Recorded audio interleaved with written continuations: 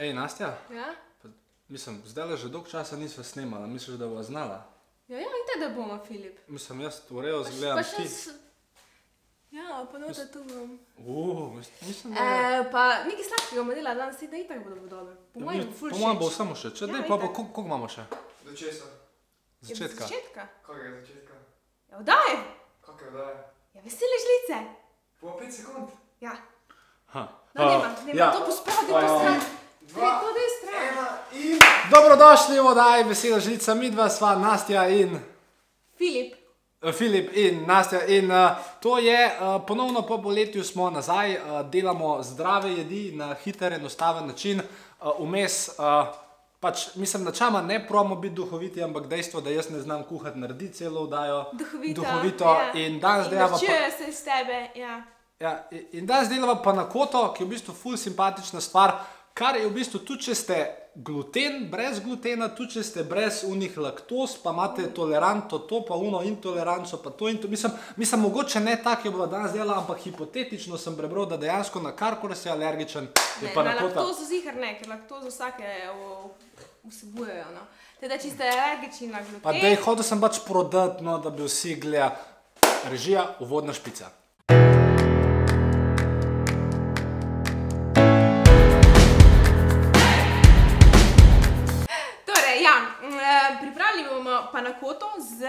Jagodno-malinovim prelivom.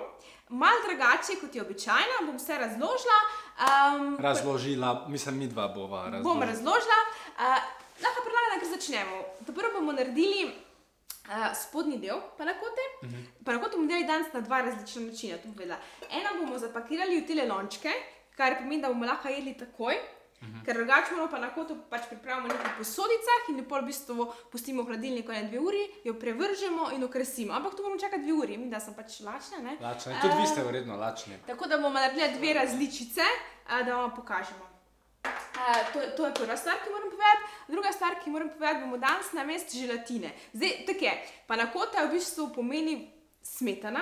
V bistvu, spet, gre, gre za italijansko, uh, gre za italijansko sladico, um, ki, in pa na kota pomeni dansko kuhana smetana. In tudi glavna sestavina pa na kota je smetana. Uh, teda mi bomo danes uporabili uh, smetano, kot glavno sestavino, dodali bomo malo mleka, na mesto želatine bomo tokrat uporabili konjak glukomanan. Uh, gre v bistvu za čisti vir vlaknin, ki dokazano pomagajo pri zniževanju holesterola in hujšanju. Jaz pa ga najraje uporabljam v bistvu za pripravo uh, sladic, na mesto želatine, fulover, uh, za pripravo pudingov brez kuhanja, na, nasiti, kruhko. nasitite. V Zelo bistvu. te nasiti. Ja. Kar je fajn, posebej za vse tiste, kot sva mi dva, ki pač, ko vidva uh, sladico, jo rada veliko poje. Oziroma, jaz niti nimam toliko s tem težav, ker bi vam rad v nadaljevanju daje razkril eno tako taktiko, ki jaz imam pri eh, jedenju sladice, ampak prej prijeva do te taktike. Naste, kje si bila? Ja, pri konjak glukomranu, tudi to je ena zadeva. Um, uporabljamo na mestu želatine, drugače konjak dobite v malinci, v vseh uh, supermarketih uh, in hipermarketih Mercator, tudi v vseh drogerijah dajem, sam to malo prodajam. In na malinca.si. In na malince.si, to sem že povedala še enkrat. Uh, potem bomo pa na mest sladkorja navadnega, ki ga v bistvu pa na kota sobe kar velik dan uporabili uh, naravno sladilo eritritol. Dansko struktura, zgleda, se isto dokus ima zelo podoben belemu sladkorju, kar je pa prednost tem, da nima nič kalorij. Pa da je pač zdrav. Zaradi tega bolj Pač sladkor načel, sladkor. Temu pravijo bela smrt, to pa ni Ja, bela smrt, ni to je bela pa smrt. super. Belo življenje. Tako belo življenje, to Elvita, la To- bela. No, nehajmo. Uh, to so dansko glavne sestavine, te štiri pa dodali bomo še jaz, dodam vedno malo vanilije, 100% prahu. Teda teh pet sestavin za prvo plast, predlagam, da kar začnemo, priprava je brez kuhanja. Drugače, nekateri pa nekote se kuhajo, ampak mi bomo zaradi želatine predvsem, ker mi danes želatine ne bomo imeli, bomo pripravili to kar v smoothie makerju. Torej, Filip, tvoja naloga je sledeča. V smoothie maker daš 2 deci smetane, ta pa na kota, ta recept je v bistvu za tri osebe. No.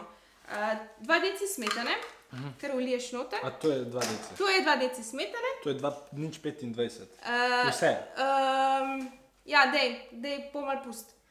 Veste, pust. se, ve- veste, treba biti, k- Mal pust, ne. kad človek kuha, mora biti pozoren. 250 okej, ja, super. ni 200. Ne? Ja, hvala, Filip, za opozorilo, zelo dobro si to res se izkazal tokrat.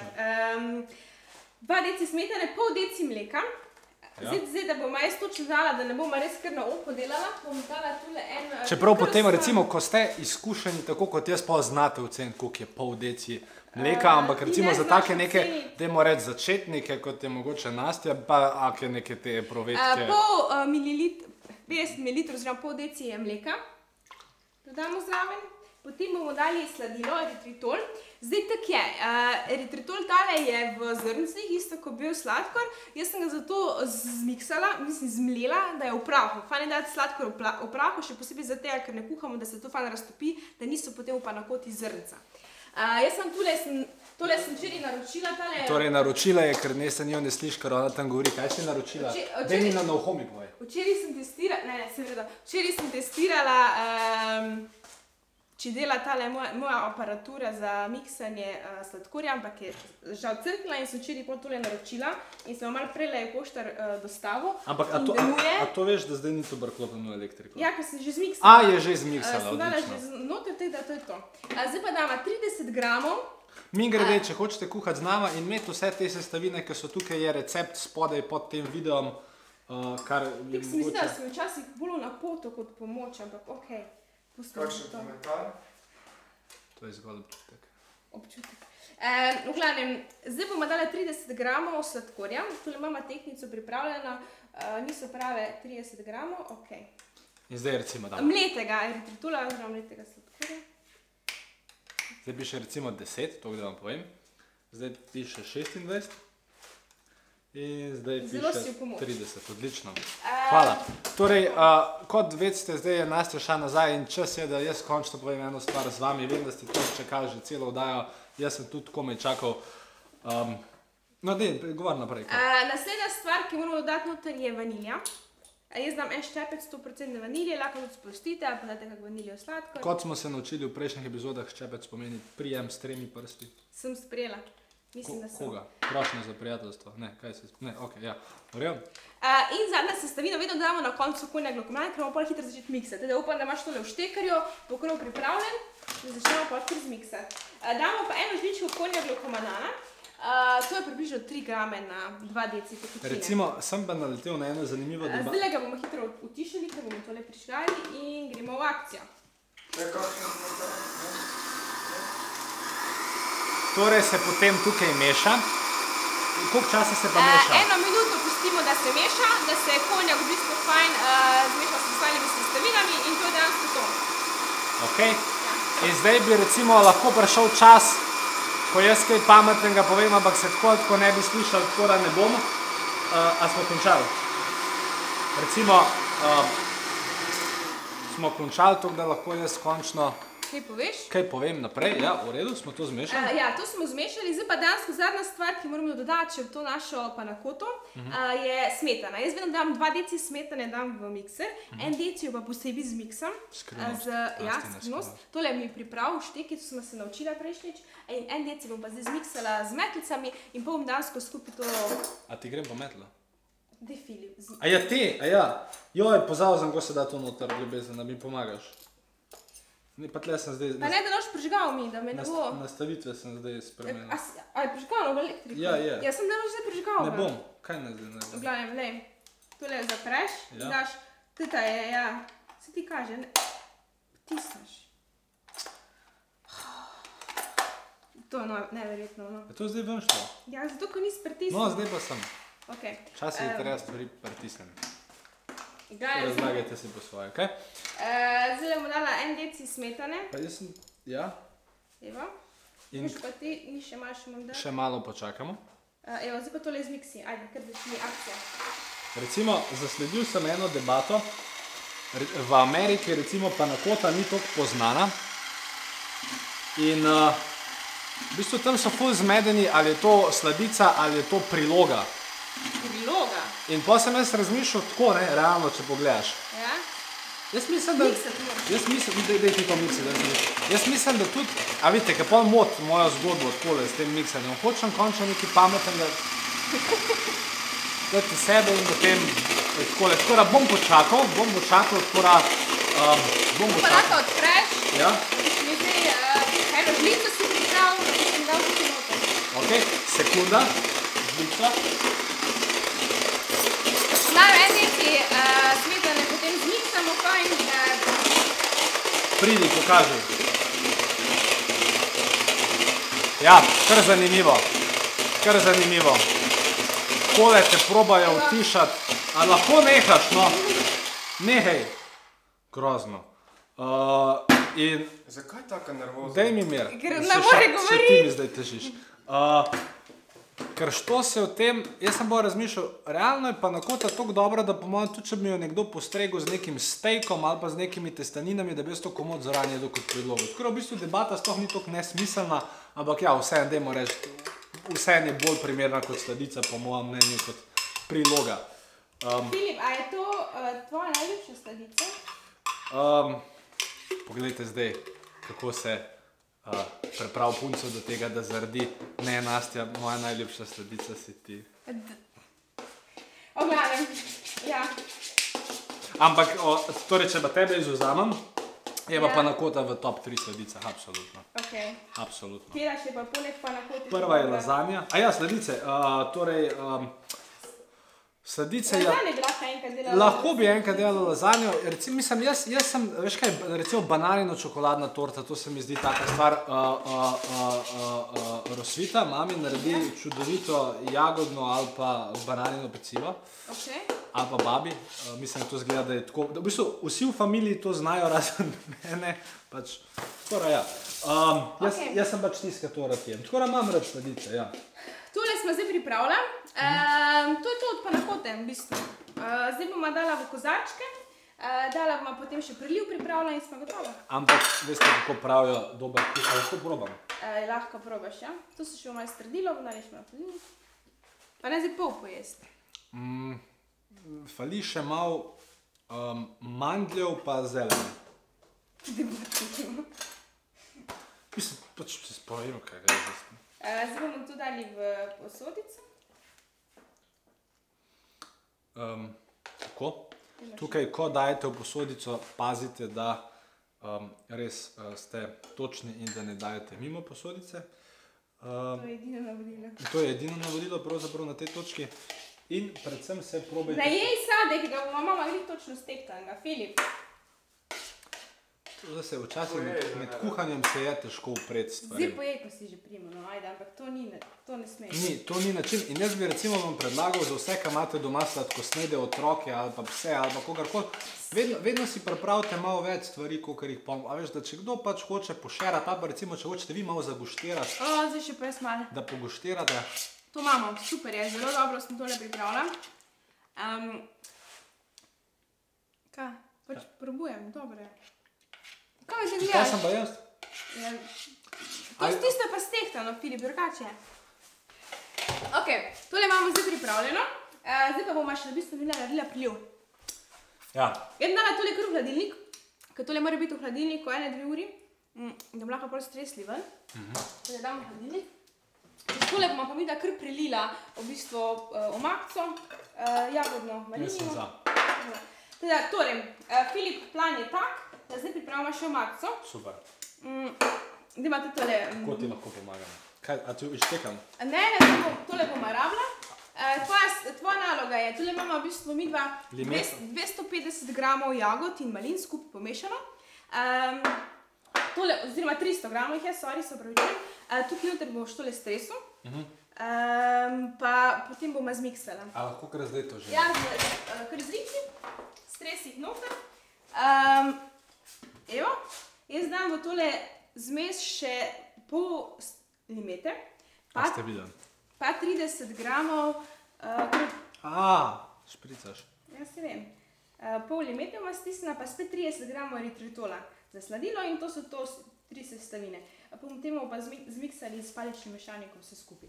Zdaj, za panakoto je full fajn, ker dejansko lahko uporabljate kjerkoli sadje za preliv.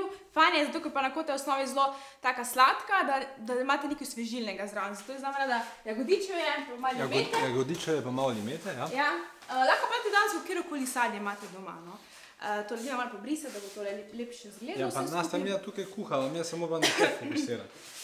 Um, zdaj pa še tole stehtimo. Čemu? A ja, da, a, da prijemo na nulo. Ja, da priprav. prijemo na nulo. A se drugače preve, kako je to Nastja užela? Ta stvar v bistvu je pocen. Uh, kupite jo, mislim, da v vsakem večjem hipermarketu je ful. se ne prodaja zdaj tistih, no da ima tule 30 gramov še Ja, pa bi sladila. lahko. Danes, če pokličete v naslednjih petih minutah, dobite zraven še set nožev in uh, 30 gramov mletega sladkorja damo, tega ne dobite zraven. Ja? Okay. tole imamo. Okay. Uh, zdaj imamo pa tole s paličnim mešalnikom z Se strinjam.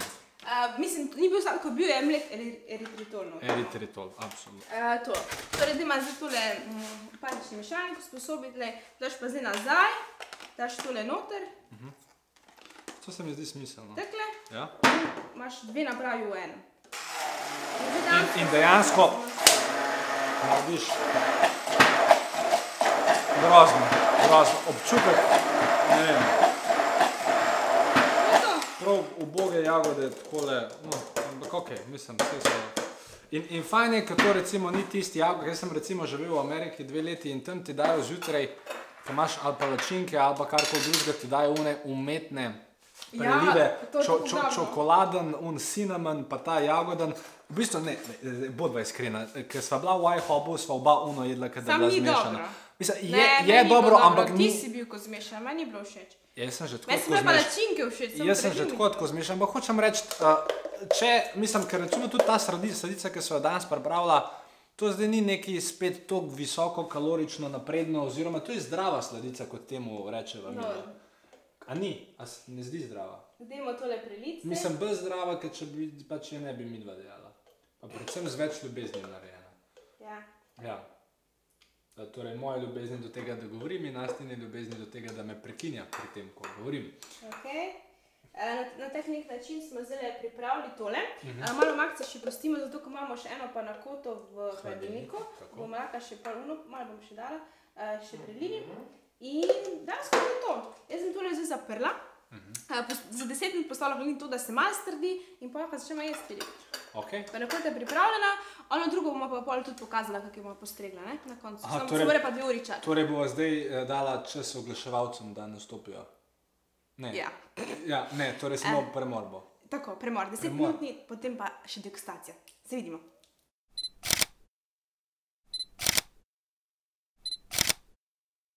In že smo nazaj, draga.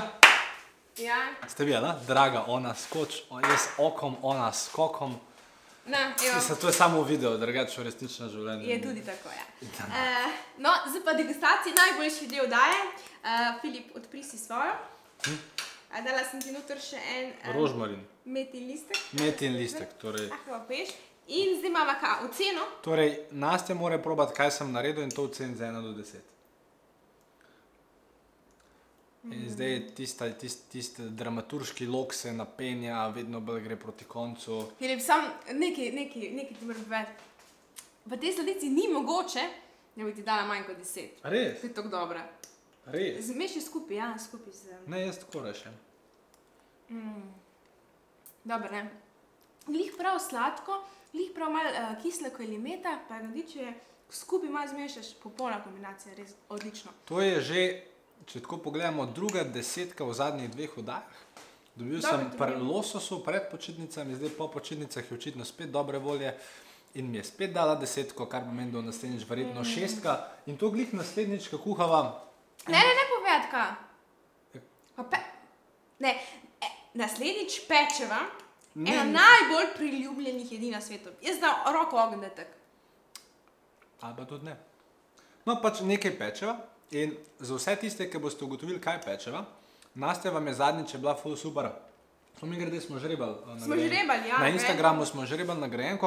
Lepo, Zdaj le, ja. pa v bistvu imamo tudi, sva razmišljala, da ti smo kaboganu, kaj bomo v naslednji oddaji snemala. Torej, pečeva ena najbolj priljubljenih jedi na svetu. Zapišite v spodaj v komentar, kaj bo najna naslednja uh, oddaja, kaj bomo delali najna naslednji oddaji, veselo žlica čez 14 dni. Mi da bomo med vsemi, ki boste pravilno odgovorili, žrebala nekoga, ki bo prejel uh, Filipovo knjigo Pisma Zeleja. A, zdaj moram jaz kaj povedati. Lahko še kaj poveš, potem pa zaključiva. A, Jaz sem pa pojedla zdaj, še malo. mislim, vem, da zdaj razmišljate, da ne, ne bo vam poslala še enkrat, ne bo vam poslala pa na kote. Poslala Prav, vam bo moja. Uh, Postavljam v knjigo dejansko ena izmed najbolj prodajanih poslovnih knjig v Sloveniji. Napisal sem jo svojemu bratu, ker sem v bistvu hotel predati moj brat je star 8, oziroma ne vem, kdaj to gledate, mogoče zdaj že 9, 10, kaj vem, ker sem mu hotel predati 17 večno aktualnih načel za uspešno življenje, prodajo in marketing. Tako da ali ste podjetnik, ali pa tudi mogoče, če niste, pa bi zgolj radi prebrali nekaj, uporabam je zanimivega, nekaj, kar vam lahko. Jaz sem že dvakrat prebrala. Um, po mojem moramo končati, če ne tole, zato mu nič več ne bo No, stala, tako ko da v komentar, v komentar, a to mora reči Tomu, ne, ne, ne, daj, daj, daj, to je v komentar. Usral si se. Pa ne, no. No, danes. vse. E, Lepo se imejte, vidimo prihodnjič. V spodnji komentar pa ne pozabite napisati, kaj bomo kuhali naslednjič. Pekla. Čau!